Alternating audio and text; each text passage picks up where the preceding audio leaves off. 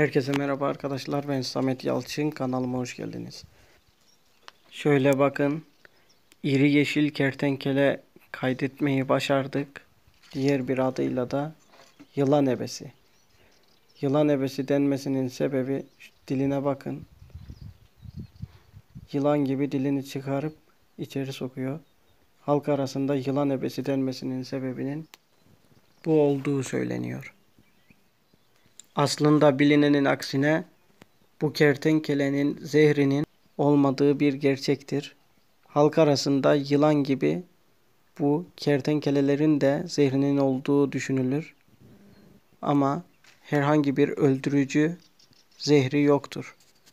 Ama yine de bir ısırık falanla karşılaşılırsa iyice sabunlu suyla yıkanılması önerilir. Çünkü bunlar etçil hayvanlardır.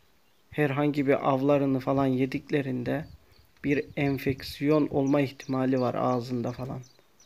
Bu yüzden eğer bir ısırıkla falan karşılaşırsanız ellerinizi sabunlu suyla yıkamanız önerilir. Bu da bu şekilde biraz bilgilendirici bir video oldu. Umarım beğenmişsinizdir. Eğer videoyu beğendiyseniz kanalıma abone olabilirsiniz. Kendinize iyi bakın. Hoşçakalın.